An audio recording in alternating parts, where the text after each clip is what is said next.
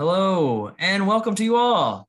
Thank you for joining the Center for Applied Linguistics today for this 30 minute webinar called Equity in Practice Multilingual Learners with Disability. Uh, this webinar is part of CAL's Critical Conversations Research to Policy and Practice webinar series. This year, CAL is hosting a bunch of live virtual discussions with educators, policymakers, and administrators like yourself to explore what it means to take an asset based approach when working with multilingual learners and how an equ- equity perspective can and must guide state, local, and national policy across uh, different educational settings. Before we begin with this 30 minute webinar, I do have a few housekeeping notes to go over. This webinar is being recorded and it will be posted to cal.org immediately after our event concludes. I will remind you that the views, thoughts, and opinions expressed during today's webinar uh, belong solely to the persons expressing them and do not necessarily represent the views of the Center for Applied Linguistics. Now, the fun part, we encourage you, the audience, to ask us as many questions as you would like. You can do that in the Q&A box that's at the bottom of your Zoom screen. We will try to address as many questions as possible at the end of our discussion today. You can also click on the chat button at the bottom of your screen to share your thoughts and comments with your colleagues. Uh, go ahead and give it a try now and tell us where you're calling in from. Um, we're always really curious about where everybody uh, finds us from. Uh, note though that we don't usually check the questions in the chat box, so keep your questions for your presenters in the Q&A box below. Now, I'd like to introduce our moderator for today's webinar, uh, Maribel Marrero Colon. Uh, Maribel works at the Center for Applied Linguistics as the Associate Director for Professional Development. In her 35 years as an educator, uh, inclusion specialist, program coordinator, administrator, and professional developer, Maribel has acquired experience within the fields of ESL, bilingual education, and uh, bilingual special education, special education instruction and evaluation, and of course, professional development. Uh, she has uh, she's she's been an adjunct at various colleges and universities and teacher programs, and these include the Central uh, sorry Central Connecticut State University, uh, College of New Rochelle, College of Mount St. Vincent, and the University of Maryland Baltimore campus.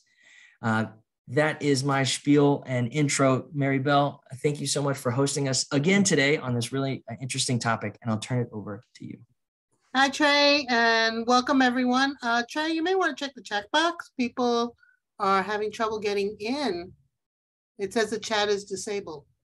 So while he's working on our tech, and I got to tell you, Trey's really great on tech, I'd like to introduce you to our speakers today. And, you know, our big MC who's going to be asking questions uh, is Dr. Alfredo Artiles. He is the Lee L. Jacks Professor of Education at Stanford University. Dr. Artiles is the director of the Research Institute at Stanford Center for Comparative Studies in Race and Ethnicity and the Stanford Center for Opportunity Policy and Education. Dr. Artiles' scholarship brings attention to all the intersections that we're talking about today, as well as many others, of historical, spatial, cultural influences in the production of racial and linguistic disparities in special education across school districts, across cities, across states, and across nations.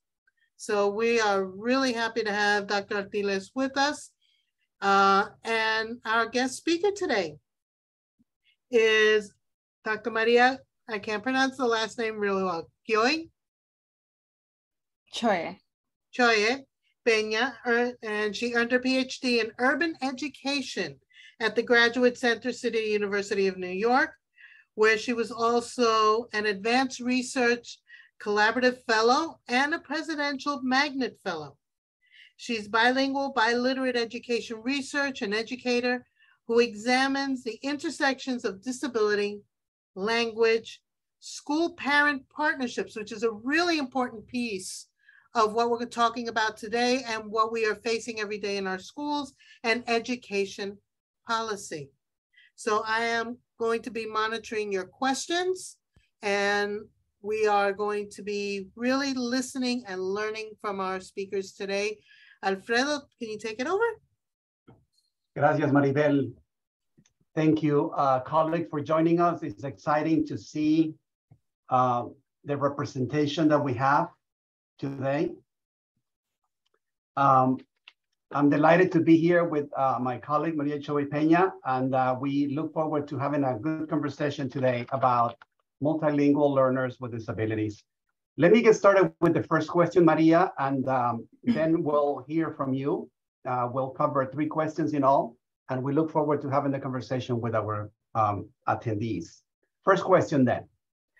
A medical perspective is privileged in the education field to define disability and design programs and interventions. We have known that for a long time. This means that individual factors are emphasized with less attention to contextual and cultural considerations.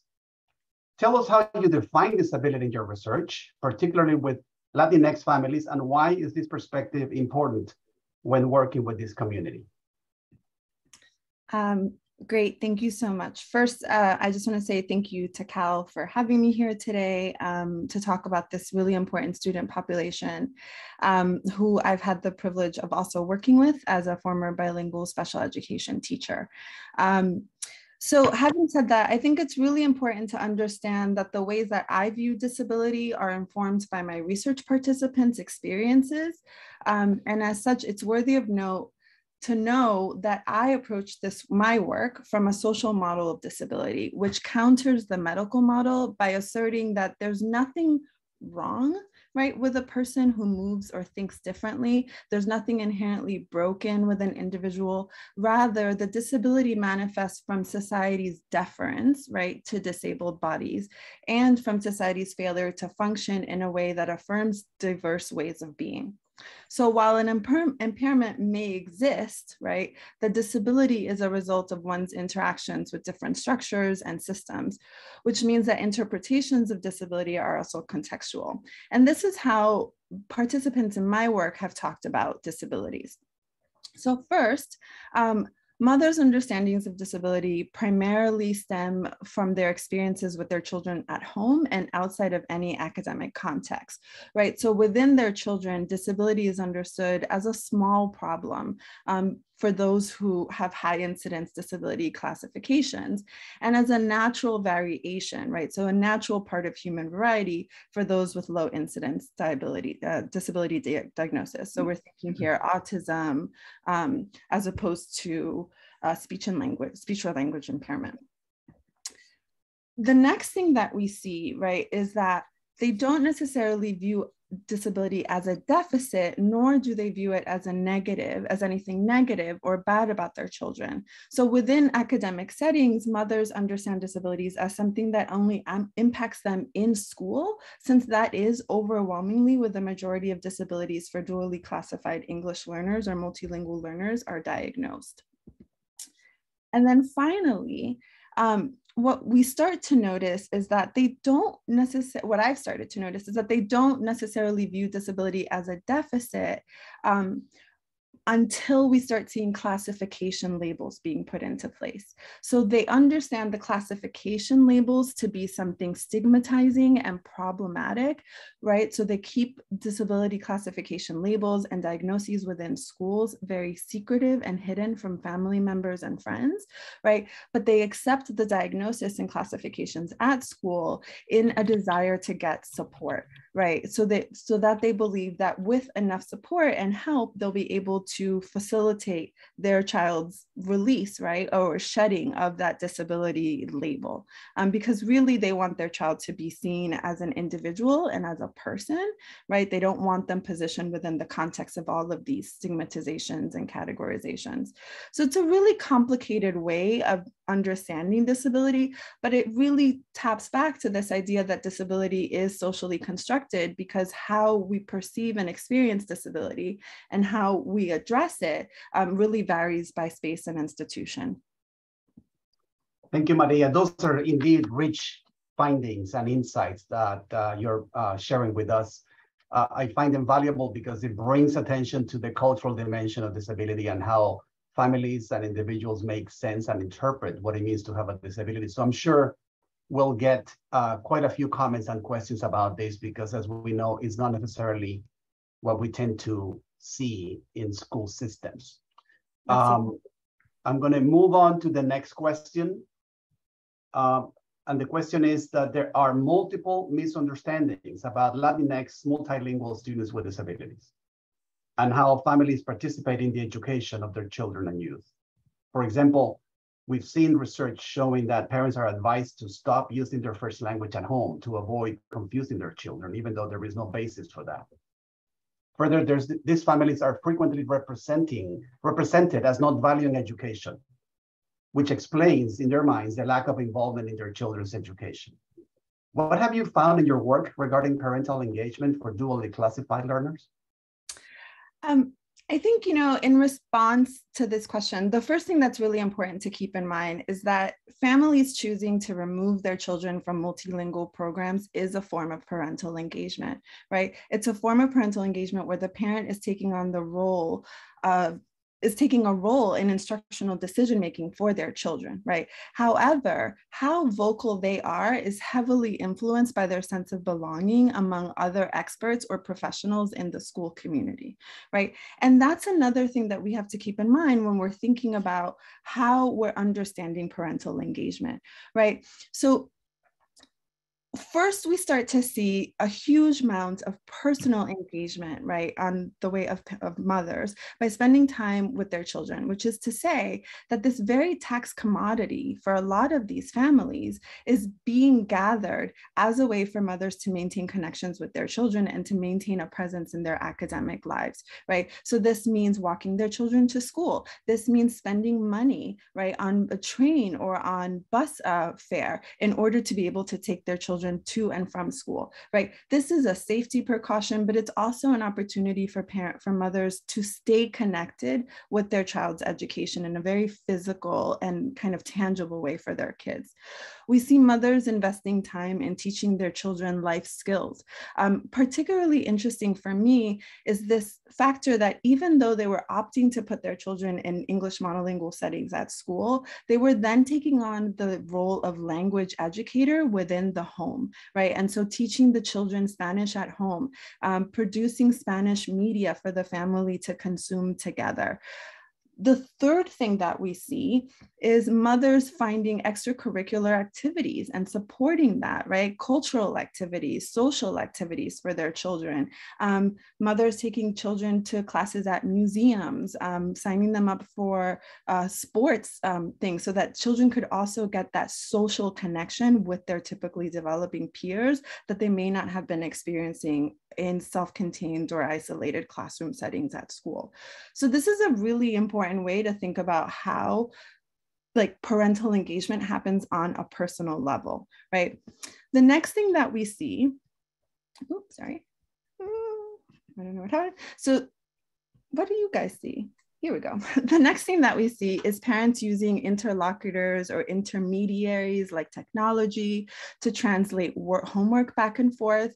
A lot of parents were using Google Translate to translate communications um, to help their kids complete homework. They were using YouTube to self-learn skills that their children needed support with when they couldn't use technology to facilitate those processes, they would then bring in relatives, right, who were English using. So we look at um, things like eldest children, right, or relatives who could translate important documents like individual education plans and report cards, which is a really I think it's important to mention that this is an added stress that is being placed on families because IEP documentation, according to IDEA, should be legally translated, right? But it isn't often translated. My experience has been in the state where I've been working with and doing a lot of my research. It usually doesn't happen unless there's a legal court battle, right? So that is, so we're putting on a pressure for parents and then faulting them for not being present physically at schools without acknowledging the ways that we're asking them to take on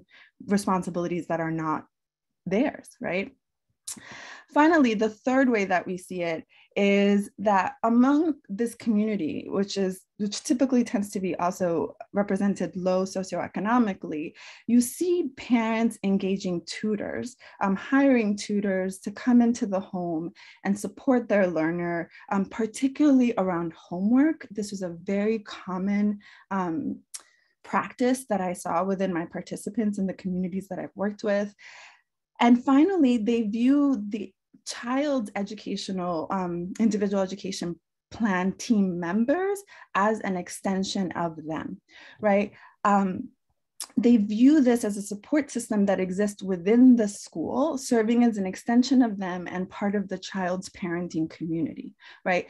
Teachers, IEP team members, service providers, they were the ones who had the most access to the child as a learner. So they were the ones who were best suited to influence what the learner's experiences should be, right? So even removing themselves actively from uh, parental engagement opportunities, right, was an active and conscious choice, right? Was done with the perceptions and belief that that would function in the best interest of the child. So I think what we're really seeing coming up from my work and the work of others is that these families are not being represented appropriately because the context with which we're understanding their engagement is not culturally appropriate or culturally sensitive. Excellent. And uh, this is, it's amazing how much we can learn when we bring an asset perspective that many people in this event have been using for a long time. So I appreciate the attention to um, the uh, ingenuity and the commitment that you have found in those families and uh, communities, uh, Maria. Let's close with the last question. This is uh, an event that is concerned with issues of policy. So let me ask you, what are the policy implications that stem from this work?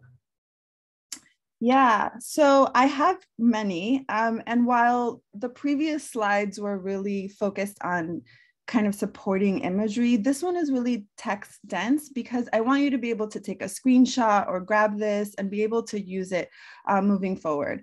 Um, so I thought about, about policies implications at three levels. So first at the federal level, the state level, and the local level. And across the board, the biggest thing that we're noticing is that we need to develop intersectional policies and practices.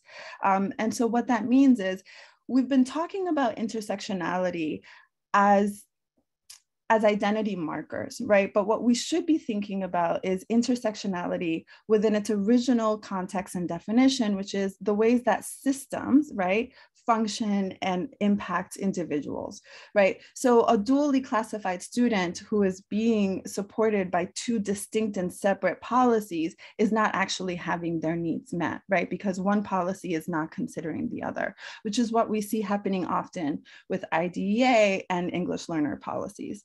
So at the federal level, we need services that match classifications.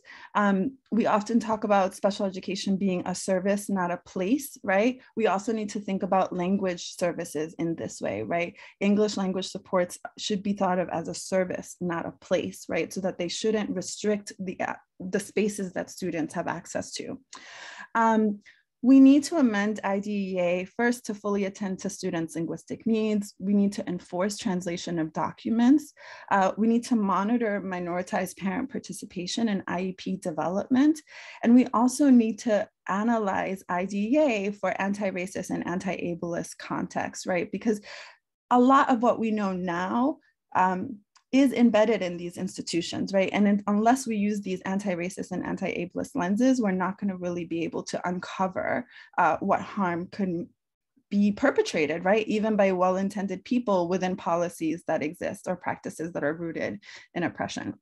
Um, finally, we desperately need to increase funding for inclusive or co-teaching placements um, so that students can have greater access to both their linguistic peers, but also their typically developing peers. Um, often dually classified students are made to choose one or the other. Um, and finally, we need EL policies that expand beyond English as a new language or English as a second language uh, classes and placement. Uh, at the state level, I believe that programs must match state demographics. So we need to have data collection on dually identified students and their eventual placements. I think we need longitudinal data on where these students move and across which spaces.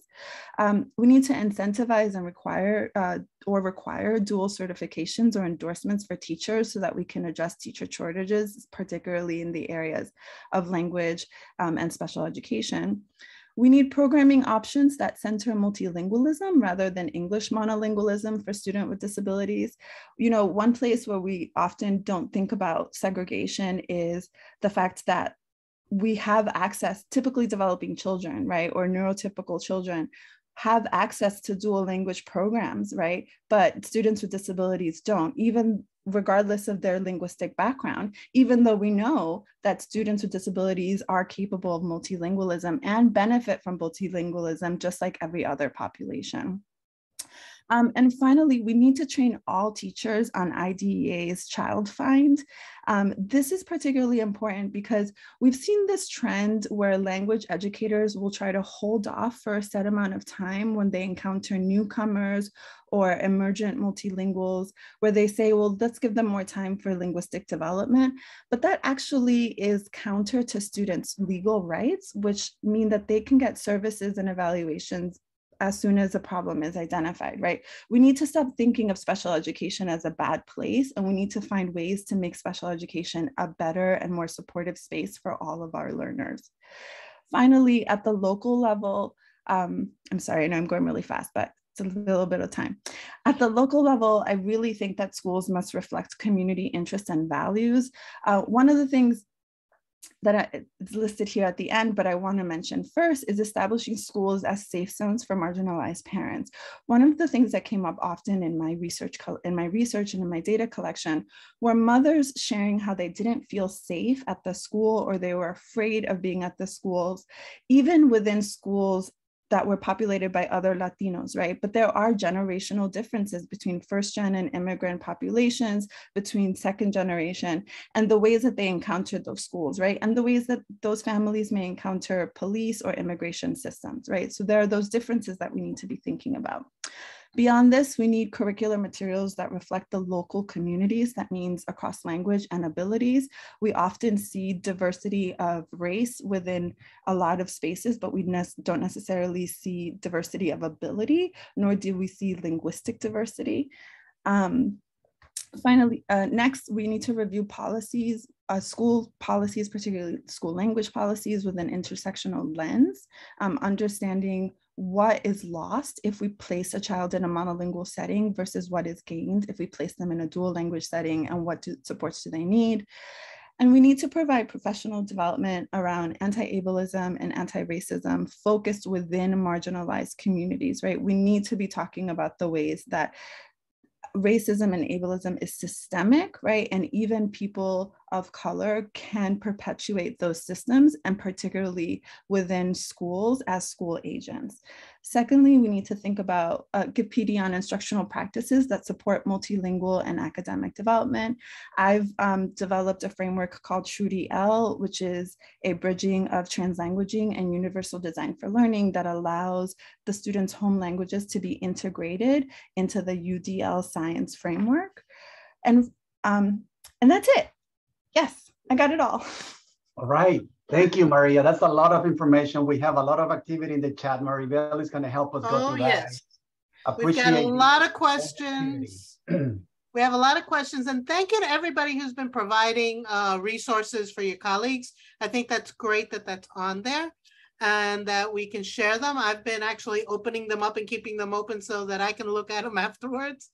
So one of the questions that came up, Maria, is when you were talking about translation and IEPs, how legally we need to provide parents with translations.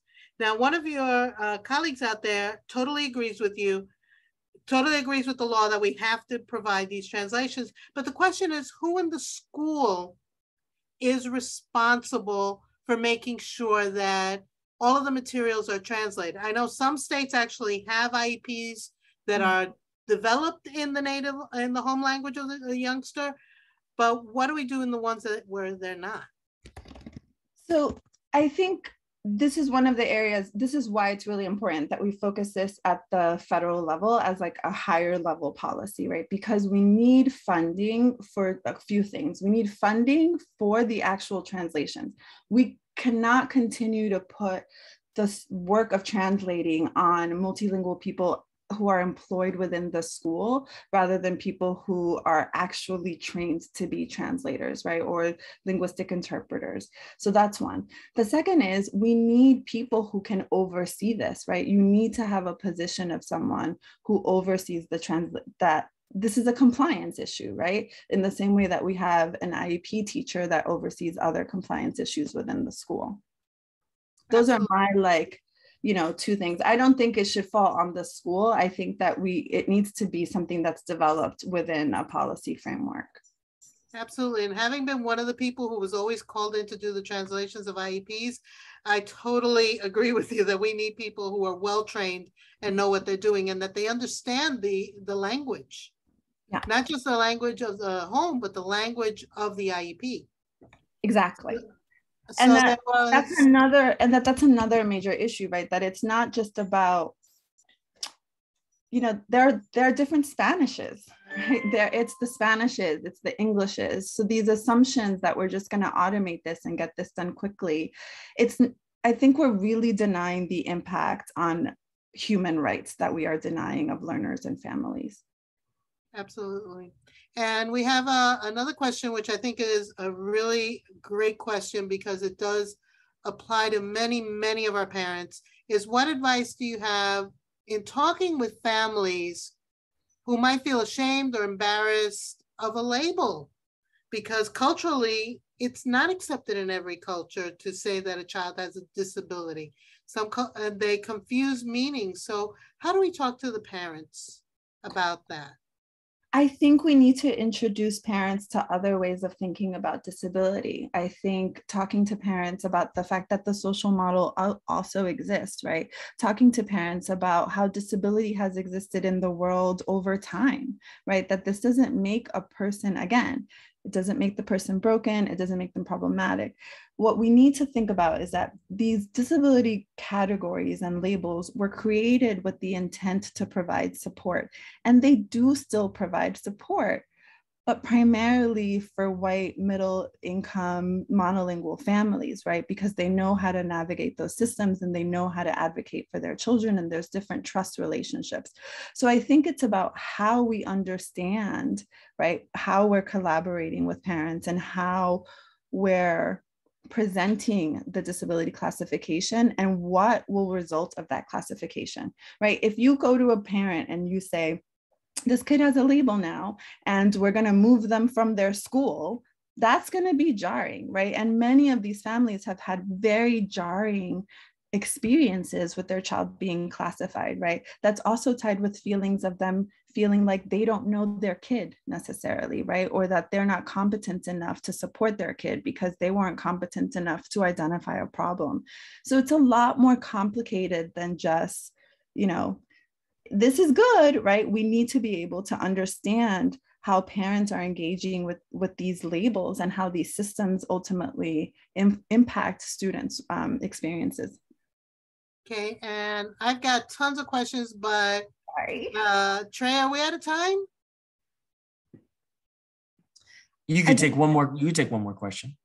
Okay, great. Because I have a question that connects to what Maria was just talking about. One of your colleagues asked you to clarify a premise you talked about earlier uh, when you started. When does this construct, the way you're thinking about this, say that parents are not having disability related issues at home, uh, that it's only in school? No, I don't think that's what you were saying. No, that's not what I'm saying. What I'm saying is that the ways in which they understand the disability impacting their child are different, right? So the so if you let's say, for example, you tell a parent that their child has dyslexia, right? And this is a parent who may or may not be literate in their home language, right? But is definitely not literate in English. If you're telling them that their child has dyslexia in English, that's not something that necessarily impacts the family at home, right? But if that child is able to read in Spanish because, you know, it's a more, um, it's an easier, more phonetic language, right? Or like there's simpler cues, that may influence the parent to believe that it is not an issue at home the ways that it is at school, right? We need to understand that we behave differently and act differently in different spaces. This is also true of children, right? How I feel and communicate anger at my employment, right, versus how I communicate anger at my home are going to be different, right? And so we have to keep in mind that the version of the child that a parent is seeing is not necessarily the same version that we are encountering at schools or the ones that we are diagnosing. Absolutely. The last thing I want to say is that any of my, um, if you go to my website, which is my name, mariacioepena.com, you have free access to any article that I've published. Um, you just hover over the name. And so that includes the TrUDL article. And I have another article on remote supports for uh, multilingual families there. Um, that's also uh, focused on teachers. Right. And Alfredo, Yeah, last, Just quickly, I want to mention that uh, the Center for Applied Linguistics also has publications on uh, students, uh, dual language learners with disabilities, in case uh, anybody would like to go check the website. We have titles there. yep, and we also have an institute uh, that functions with uh, the MTSS and talks about many issues that we've discussed here today. So any last words as we are going to shut down in a couple of minutes? Just Well- thank you so much for holding space for me, my work, but particularly for these students and these families. Absolutely.